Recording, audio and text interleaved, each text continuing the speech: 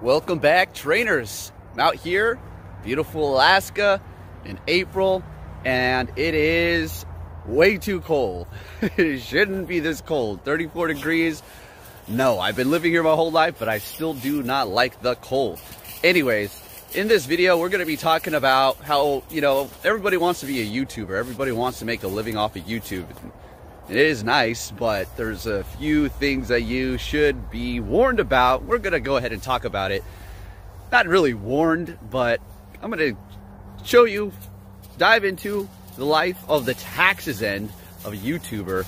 Now, I'm not going to be pointing out any numbers that I'm making, like how much I'm making. I will point out like how much I'm spending on some things as far as um, write-offs and stuff like that, but I'm not going to be pointing out how much I actually made because that's just not what you do on YouTube. Anyways, out here with Athena, I got to go take her to go get a, some treats and a toy or something because she was just sitting around all day, just sitting there while I'm doing my taxes. Oh no, poor doggy just sitting there. Anyways, uh, let's uh, see what we have going on. If you do enjoy this kind of uh, interesting, different style of content, give it a thumbs up. I'm squinting because you know, the sun in Alaska is brighter than a lot of places. I'm that, that sounds really weird, right? You're like, what do you mean? Sun is the sun, no matter where you're at. All right, yeah, that's true, but it's, it, you got this snow, which is like reflecting off it and making it even brighter. All right, enough of this rambling. Let's get into this. All right, so this is the laptop that I use to exclusively do my taxes. It is a dinky HP uh, laptop. I mean, let's take a look here a laptop. You've never seen one of these before, huh? So, simple. So, uh, use it for only taxes because everything's saved and it's just better that way. Uh, I don't even have a laptop otherwise because I do all of my work on the thing that I'm recording with my phone. I've been making my living only using phones since 2016. I don't know if there's anybody out there who's ever done that. Now, as far as the write-offs, that's the big thing. And now this is going to be more about like my experience, I guess. I could have showed you when all these were out, but there is a lot of receipts bundled up in here. I just stuffed them in here. So when you are a YouTuber, when you receive your payments, you do not get any taxes deducted at all. Uh, but it's not like, oh, you don't just tax free money. No. If you don't file your taxes, you're going to have some trouble. So you better do that. Anyways, all this stuff is just from expenses. So we have business meetings, eating out, uh, just a few of those, but mostly are going to be just random things that I use to help run my channel. I didn't organize them, I just kind of threw them in here, right? So it doesn't really matter as long as they're in the bag. It was a crazy mess before this. Uh, other random expenses, and then we have like Google Play and car expenses. And okay, so let's talk about this. If you're trying to actually make a livable wage off of a YouTube channel or multiple channels, uh, you know, it's kind of difficult. It really depends uh, nowadays on what kind of a genre you're trying to get into.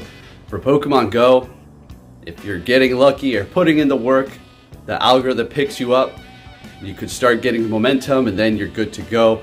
But who knows how long that's going to keep up and how you're going to be able to rely on that. Not to mention, there's no benefits here on YouTube. There's no health insurance, there's no dental, there's none of that. So you got to save on top of that. Or if you have health insurance, I personally don't because it's ridiculously expensive and I got expenses that I need to pay. Uh, if you think I'm making a lot of money here, I'm really not. See, the thing nice about YouTube though, which gives me the freedom to do whatever I want, work whenever I want. You have to have a good work ethic, but at the same time, you know, you, you can you just you can do whatever you want. You, you you're your, your own boss. There are rules and guidelines of YouTube, so technically Google and YouTube are your boss, right? Uh, they're also paying you. It's Google though, but that's it. You know, you you got the freedom to do whatever you want, but it's not all fun and games because it's a grind and for the freedom, I'm sacrificing continuously grinding out videos and continuously editing and looking at my phone. Uh, I think I screwed up my eyes during the two days where we had the 100 battles, continuously looking at my phone, looking at my phone, editing. Holy crap, I slept more Or I mean, I was awake longer. I didn't even get much sleep.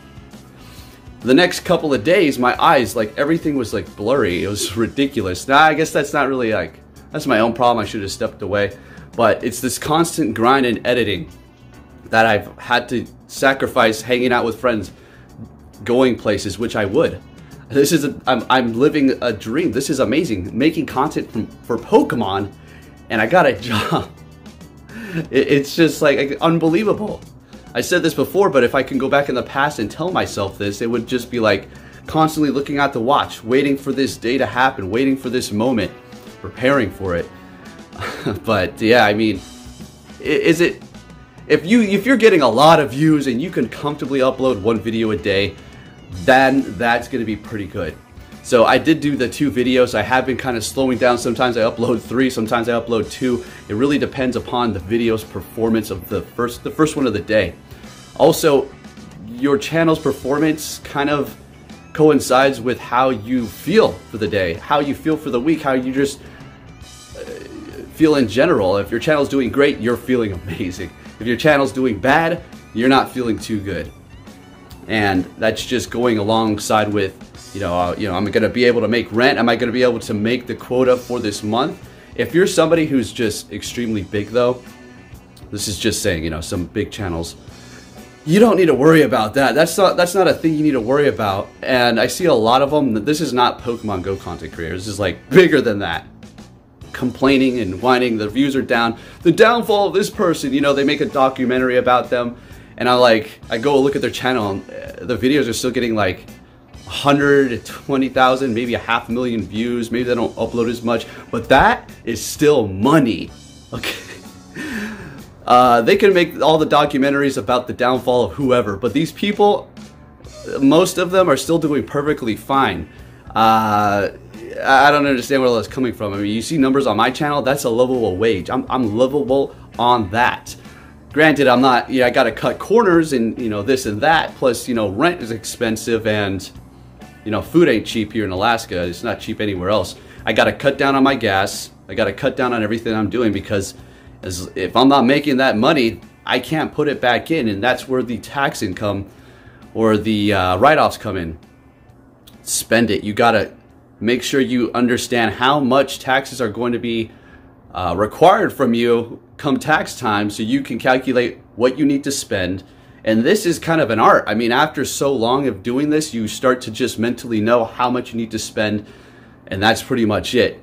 If you haven't spent enough come the end of the year, what you do is uh, you go to the store, and you start stocking up on stuff that you need for your channel. If you need a new computer, you buy that. If you need some more Google Play for Pokemon Go, you buy that. If you need whatever equipment, you go for that. If you need to take classes for speech or for video editing, you do that. I'd rather spend all of this tax write-off on all these different things and then have all this different write-offs because, you know, just gonna help you out at the end of the day.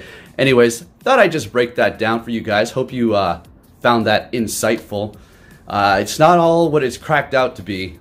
Uh, and it's definitely a grind which you're gonna have to sacrifice hanging out with friends, hanging out with family. Forget it, partying and drinking and stuff. That you could do it, I guess, but I personally feel like what happens for me is my whole like equilibrium just gets all screwed up if I drink, and I just feel all off balance, and it's not gonna be good for me. I do smoke though, uh, not cigarettes. so I, I can still function like that, but that's another story. Anyway, yeah, just thought I'd give you that little bit of tidbit there. So if you're like trying to become a YouTuber, you gotta really have views rolling in for you, unless you don't have to pay rent, you don't have insurance, you don't have uh, phone bills, you don't have whole food, uh, you know, people relying on you, like like a dog or your son or your kids or whatever. Uh, if you're just a single person who's living with a roommate or your parents or whatever, then you know, YouTube away. All right, start stacking up that money and save it. But otherwise, it's going to be pretty hard to get into and just make a livable wage. All right, and before we go, a little bit of Pokemon Go. We got a shiny Rockruff. It took me 55 raids to get this, so that's not bad at all. If you did enjoy this video, folks, give it a thumbs up, subscribe if you're new, turn notifications on, and I'll have some Pokemon Go content for you first thing tomorrow. Thank you for watching and take care.